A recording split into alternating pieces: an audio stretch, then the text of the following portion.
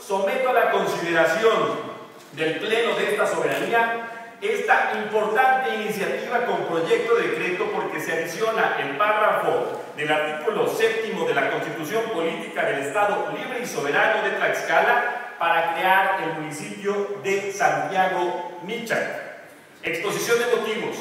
El municipio constituye la unidad jurídica política en que se divide el Estado. Por lo tanto, en la entidad pública que más cercanía guarda con los habitantes al ser la principal responsable de promover los servicios primarios como el agua potable, la seguridad, obras públicas, recolección de basuras, entre otras muchas actividades.